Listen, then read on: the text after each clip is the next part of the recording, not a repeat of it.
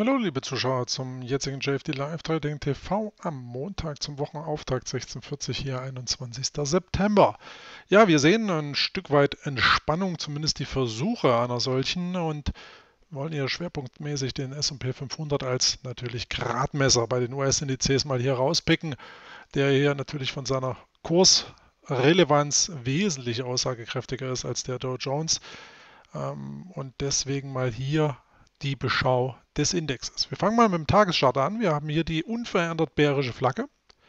Heute, ganz interessant, nachdem es am Freitag hier schon eine sehr, sehr kritische Konstellation gab, hier heute mit einem Reversal.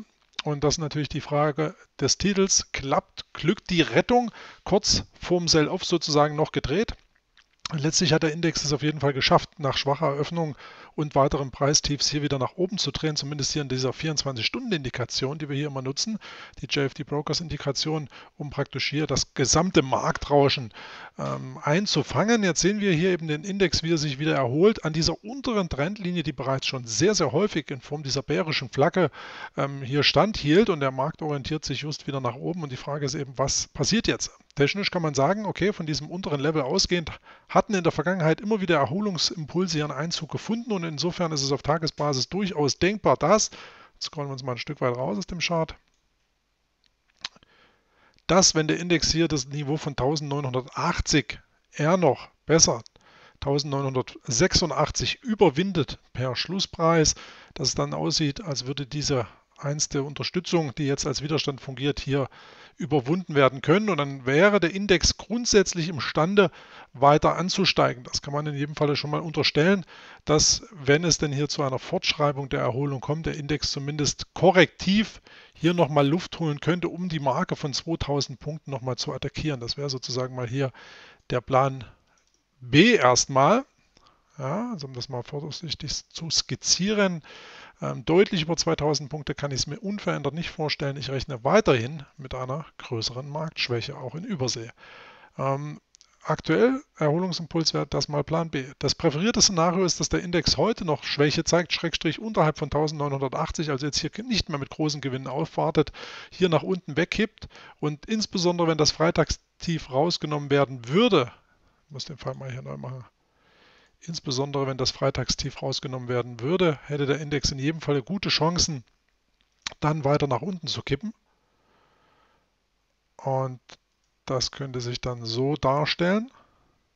Und gerade wenn die bärische Flagge aufgelöst wird, per Close, das wäre jetzt hier als signifikante Signalgebung mal hier das Low beziehungsweise auch das Close schon hier vom Freitag 1952 wäre schon mal hier so ein Trigger-Level, wo man sagen kann, wenn es da runter geht, dann hätten wir auch hier die Kerze vom 15. und 14 unterschritten, gerade per Close, dann wäre das auf jeden Fall hier eine sehr, sehr signifikante Einladung, um an einer weiterfallenden Tendenz partizipieren zu können.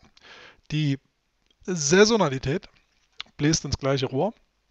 Hier sieht es natürlich so aus, dass wir bis in den Oktober hinein eine sehr schwache saisonale Phase haben ab Oktober, Obacht, wird es wieder sehr, sehr spannend. Da scheinen dann rein technisch und saisonal und zyklisch die Bullen wieder so ein Stück weit das Ruder an sich reißen zu wollen. Das bleibt mal zu beobachten, was der Index hier macht. Ob es nach einer weiteren Schwächephase dann bereits hier zur saisonalen ähm, Wiederauferstehung kommt oder ob wir uns hier tatsächlich mit einer größeren Korrekturbewegung anfreunden müssen. Meines Erachtens der Index hier nach wie vor in einem bärischen Lager. Ähm, wir haben hier nach oben hin das 61er Fibonacci-Level, was unlängst schon mal hier im Sinne des Fed-Events touchiert, attackiert wurde. Ähm, konnte, wie gesagt, Sie sehen hier diese Art Shooting Star-Kerze nicht gehalten werden. Ähm, seither Schwäche. Jetzt folgt im Prinzip die Reaktion auf den schwachen Freitag und den schwachen Donnerstag mehr oder weniger. Das für mich aber hier so ein Stück weit nur ähm, ja, der Griff nach dem Strohhalm mehr oder weniger. Ich rechne eher damit, dass die weitere Woche auch gerade vor dem Hintergrund der technischen und saisonalen Situation hier von Schwäche geprägt sein dürfte. Das ganze Bild würde sich erst ändern und das muss man natürlich als Analyst und auch Trader natürlich immer im Kopf haben. Wenn es hier signifikant per Daily Close über 2000 geht, dann bleibt natürlich die Option hier das eigentliche Widerstandslevel bei 2045 zu attackieren. Das wäre aber nun wirklich dann auch der Plan C sozusagen.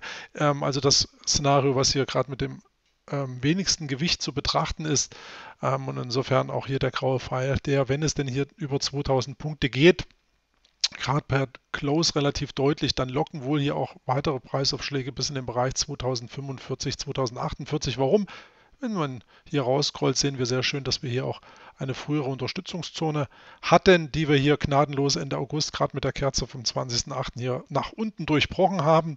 Und dieses Level 1 Unterstützung wäre nunmehr eben hier im Sinne dieses roten Pfeils als Widerstandslevel anzusehen. Ja, und da müsste man dann mal die Situation wieder in die Waagschale werfen, denn wenn sich der Preis über das 61er Level erhebt und dann Richtung 2045, 2048 schreibt, wäre natürlich auch diese vorangegangene August-Korrekturbewegung schon rein technisch zu stark korrektiv erholt, als dass man sagen könnte, jetzt kommen die Bären tatsächlich wieder zurück letztlich wäre das hier, wenn es hier wieder nach oben geht, auf jeden Fall eine interessante Konstellation, um eben zu sagen, ähm, dreht hier vielleicht der Trend. Aber soweit sind wir nicht.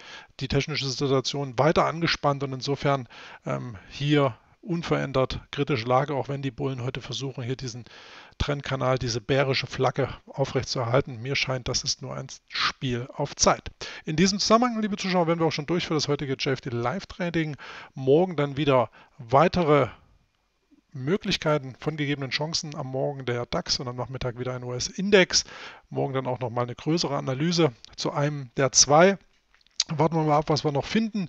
Ich sage erstmal Danke fürs Dabeisein, wünsche noch einen angenehmen Resthandelstag, schönen Feierabend. Ihr Christian Kämmerer und Tschüss.